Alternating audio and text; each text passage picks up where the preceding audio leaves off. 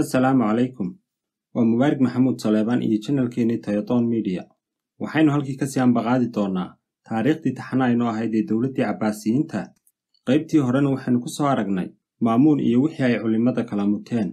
Haddaba maanta waxaynu ka sii ambaqaadi doonnaa geeridii maamuun iyo wixii uu sababsaday. Haddaba daawadayaal intaynaan muuqaalkeenna gudagelin. Fadlan haddii aad nagu cusub tahay nagu soo biir. Oo sabskrayb saar sidoo kalena gambaleelka yar furo si aad ula socoto muuqaalada dambaanu soo gelin doonno annagana ay noogu noqoto dhiirigelin. Ku soo dhowaada muuqaalkeenna maanta.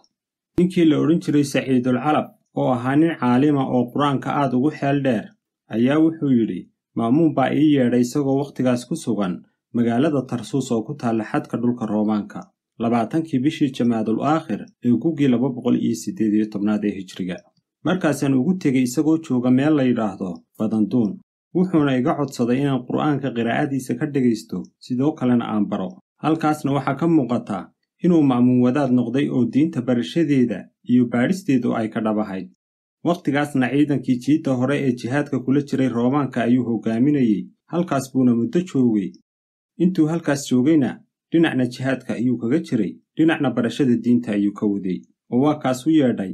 Macallinkaas aadka u yaqaanay qiraa'ada qur'aanka si uu uga saxo dhawaaqa iyo tajwiidka qur'aanka. Dhanka kale culimmadii uu ma'muun ku khasbayey inay qaataan caqiidada ku saabsan in qur'aanku yahay mid la abuuray wuxuu u arkayey inay tahay sida keliya ee saxda ah. Haddii kale oo la diido in qur'aanku yahay wax la abuuray wuxuu u arkayey in shirki ay tahay. Sidaas darteedna ay khasab tahay inuu difaaco caqiidada islaamka. Haddaba iyagoo ay culimmadu wakhtigaas jiq iyo jiq isku yihiin ayaa waxaa la sheegay in ma'muun biyo ka cabbay webiga baanduun biyahaas oo uu ku xanuunsaday isaga iyo raggii kale ee la socday ee biyahaas ka cabbi. Isaga sabab ayaa looga dhigay halka raggii kale ku jirradeen laakiin ay ka kaceen isaguna uu geeriyooday. Markii ma'muun xanuunkii uu ku cuslaadayna wuxuu u cidirsaday wiilkiisii oo loodhan jiray cabbaas. Kadibna wuxuu soo gaadhay goor xanuunkii ku cuslaaday aabbihii markaas ayuu ma'muun dardaarankiisii qoray. Xilkiina wakhtigaas wuxuu ku wareejiyey walaalkiis oo loodhan jiray muctasim.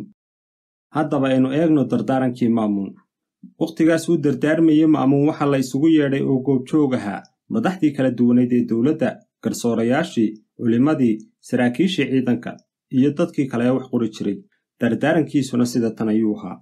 Kani waa qiraalkii addoonkii alle cabdulaahi binu haaruun amiirkii mu'miniinta oo markhaati ka dhiganaya dhammaanba dadka jooga goobtan. Waxaan qirayaa allaweyne inuu keli yahay oo cidina aanay wax la wadaagin mulkigiisa. Geeriduna waa xaq soo saaristuna waa xaq xisaabtuna waa xaq. Marka aan geeriyoodo qiblada ii jeediya sidoo kalena intaad imaydhaan ii weysaysiiya kadibna kafantayda igu xidha. Markaad igu tukanaysaanna iimaan ka dhigta qofka dhalasho ahaan ii xiga idinkuna da'weyn wakhtigaana ma'muun wuxuu si gaar ah ula hadlay walaalkii muctasim oo ahaa ninka uu xilka ku reebay wuxuuna ku yidhi isxaaq aabbihiisa wii soo dhowow oo waxaanaad u jeeddo wax ku qaado. Xukunka dowladdana marka aad la wareegto alle ka baq oo dadka u caddaalad fal sidoo kalena shacabka xaaladdiisa hamowgan oo dadka danyarta ah mar walba ka warhay. Raaciyadda kale ee aan muslimiinta ahayna sidoo kale si fiican wareed ula dhaqantaa kana warhaysaa wax kasta oo muslimiinta dantoodu ay ku jirtana horu mari oo kuwooda xoogga badan ka celi kuwa tabarta yar oo xaqooda uga soo celi oo si caddaalada wax ugu qaybi. Si deg deg ahna waxaad u aaddaa xaruntii boqortooyada oo ahayd magaalada bakdaad wakhtiga aad bakdaad ku noqotona dadka ku sugan jiidaha hore ee iyagu cadowga dagaalka kula jirana ha moogaan oo isha ku hay mar walba. Hana moogaan inaad mar walba duulaan ku hayso cadowgaaga una diiddo wax fursada. Oo markii muddo la joogoba adigoo ciidankaaga iyo xigtadaadaba wata duulaan u soo aad. Adigoo alle dartii ay kaa tahay oo jidkiisa ku jihaadaya oo ajarkiisa raadinaya. Arrinkaaga oo dhanna alle uga baq isagana la tala saaro. Kadibna wuxuu walaalkii muctasim si gaar ah ugala dardaarmay oo ku yidhi isxaaq aabbihiisow dadkii aan mudnaanta siin jiray ee aad iga maqli jirtay sidii u qiime oo marna ha iska fogayn oo ninkii la odhan jiray cabdulaahi binu daahir xilkiisa u da oo ha ka casilin. Waxa aan kaa codsanayaa in aad ninkaas xumayn. Sidoo kalena ninka la yidhaahdo isxaaq binu ibraahim hawsha ha kula wado oo wax walba kala tasho waa nin mudane. Sidoo kale wuxuu kala dardaarmay dadkii ka soo jeeday firkii cali binu abidaalib allaha ka raali noqdee wuxuuna ku yidhi si fiican ula dhaqan oo kooda wax bi'iya iska dhaab kooda wax hagaajiyana ka guddoon oo marna ha moogaan waxtarkooda. Idinka iyo naftiinnaba waxaan idiin dardaarmayaa cabsida eebbe. Isagaana weydiisanayaa wixii hore iiga dhacay inuu ii dhaafo isaga dhaafid badana ahe. Wuxuuna hadalkiisii ku soo gebagebeeyey allah u naxariisto nebi maxamed nebigii hanuunka iyo naxariista.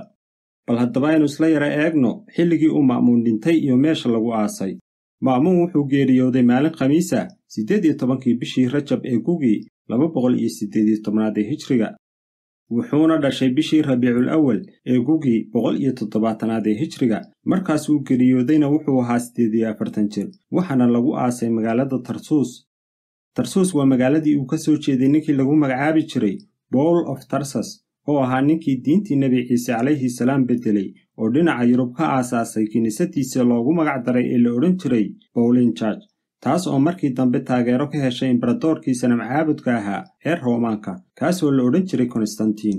Wuxuuna u aqoonsaday inay noqoto kiniisadda guud ee imbaradooriyaddii roomaanka oo awooddeedu wakhtigaas ay ku fidsanayd qaybo badan oo ka mida yurub afrika iyo aasiya wuxuuna u bixiyey roman catholic church oo macnaheedu yahay kiniisadda guud ee roomaanka muddadii uu xilka hayeyna ma'muun waxay ahayd labaatan gu iyo shan bilood iyo saddex iyo labaatan maalmood waxaana lagu naanaysi jiray abulcabaas haddaba aynu u nimaadno qaybtii uu ma'muun ka qaatay horumarka cilmiga koonka.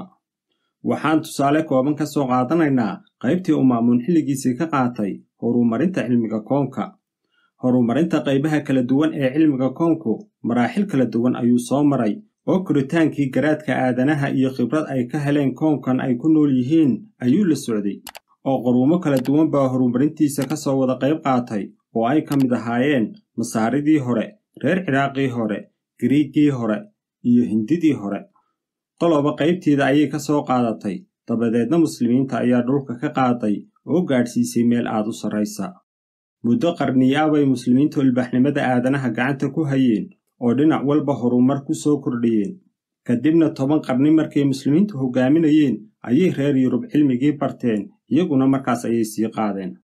Aynu u nimaadno heerarkii kala duwanaa ee cilmiga waxaynu ka soo bilaabaynaa wakhtigii abujacfar al mansuur oo isagu ahaa aasaasihii dhabta ahaa ee dowladdii cabbaasiyiinta ayaa bilaabay inuu cilmi baadhis sameeyo oo dhiiri geliyo in cilmiga koonka baadhis lagu sameeyo oo wixii aadanaha dhigaal u yaalay la turjumo oo halkaas laga siyanba qaado haddaba gugii boqol iyo konton iyo afraadii hijriga kuna beegan toddoba boqol konton iyo toddobadii miilaadiga abujacfar al mansuur wuxuu maalgeliyey in cilmiga koonka baadhis lagu sameeyo gaar ahaanna cilmiga falaga. Cilmigaasoo soo gelayey cilmiga saddexagallada ama tekromitariga hanti xoog leh ayuuna mashruucaas ku bixiyey cilmi baadhayaashii waxay markii koowaadba turjumeen oo carabi ka dhigeen kitaab ay gariigii horqoreen oo la odhan jiray mujasaati kaasoo ay gariigii ku ururiyeen xogihii ay cilmiga hawada sare ka hayeen casharada ku yaalayna waxaa ka mid ahaa dhulku inuu kubad oo kala yahay iyo sidoo kale in dhulku yahay xudunta koonkan oo waa sidii xilligaas ay aaminsanaayeen culimmadii gariigu sidoo kale waxaa ku qornaa burjiyada ama xidigaha socodka qoraxda isbeddelka guga iyo dayrta isbeddelka habeenka iyo maalinta xisaabinta dhaqdhaqaaqa dayaxa qoraxmadoobaadka dayaxmadoobaadka iyo meerayaasha guurguura. Dabadeedna xilligii ma'muun baa la sii hormariyey wuxuuna amar ku bixiyey ma'muun in barjeedaalo laga dhiso buuro ku yaalay waqooyiga baqhdaad mid kalena waxaa laga dhisay buurta kaasiyuun oo dimisha ku taalla. Wuxuuna ma'muun maalgelin iyo dhiirigelin isugu daray culimmadii ka shaqaynaysay xaruntii kaydka buugaagta iyo cilmi baadhista ee loo yiqiinay daarul xigma taasoo ku taallay magaalada baqhdaad wuxuuna amar ku bixiyey in cilmi baadhis dheeraad ah lagu sameeyo cilmiga saddexagallada ee hawada sare lagu qiyaaso xilligaasna waxay culimmadu cilmi baadhistii ku heleen wareega dhulku inuu yahay sida ay ku hilaadiyeen koob iyo afartan kun laba boqol afartan iyo sideed kilomitir taas oo aad ugu dhow sida lagu cabbiray xilliga hadda ah oo la isticmaalayo cilmiga casriga ah ee satellaytada iyo maababka lagu cabbirayo. Cilmiga saddexagallada oo muslimiinta ka hor si gaabisa u socday muslimiintu hal mar bay meel sare gaadhsiiyeen oo markii hore wuxuu qayb ka ahaa cilmi falagga laakiin markii dambe waxaa laga dhigay cilmi madax bannaan oo si gaara loo baadho. Muslimiinta ayaana ka shaqeeyey inuu cilmi goonni u taagan noqdo oo mudnaan gaar ah la siiyo. Waa dambe ku beegnayd gugii shan boqol siddeetan iyo afraad ee hijriga kuna beegnayd gugii kun afar boqol iyo kontonkii miilaadiga ayaa loo aqoonsaday inuu yahay cilmi madax bannaan. Haddaba qarniyadii dambe ayaa aadanuhu wax ku soo kordhiyeen heerkii ay muslimiintu gaadheen xilligii uu ma'muun talada hayey oo meel fiican laga gaadhay aqoonta cilmigaas loo lahaa. Raggii uu dhiirigeliyey ma'muunna waxaa ka mid ahaa ninkii la odhan jiray maxamed bin muuse al khawaarizimi oo isagu joogay magaalada bakhdad intii u dhexaysay sannadihii toddoba boqol iyo siddeetan ilaa siddeed boqol iyo kontonkii miilaadiga ninkaasoo cilmi baadhista ku saabsan cilmiga xisaabta iyo falagga heer sare ka gaadhay iyadoo ma'muun dallacsiiyey oo ka dhigay guddoomiyaha xaruntii cilmiga ee baytulxikma haddaba ninka la yidhaahdo khawaarsimi wax badan ayuu ku soo kordhiyey cilmiga xisaabta oo wuxuu soo saaray hab lagu furfurayo islaagyada kala duwan ee xisaabta aljabrada. Waana ninkii aasaasay cilmiga aljabrada ereyga aljabrana isaga ayaa lahaa oo magacii isagu u bixiyey ayay wadataa ma'muun baana ka dalbaday inuu kitaabkaas alifo. Si dadka loogu fududeeyo inay u adeegsadaan xisaabaha kala duwan. Sida uu khawaarsimi buuggiisa ku caddeeyeyna wuxuu sheegay maalgelintii iyo guubaabadii ma'muun inuu allaweyne ku gaadhsiiyey guusha laga keenay meelo kala duwan oo aqoonta ka mid ah. Wuxuuna hadalkiisii ku soo gunaanaday alle ayaa isulansiiyey kitaabkan iyo kuwo kaleba isagaana tala saartay.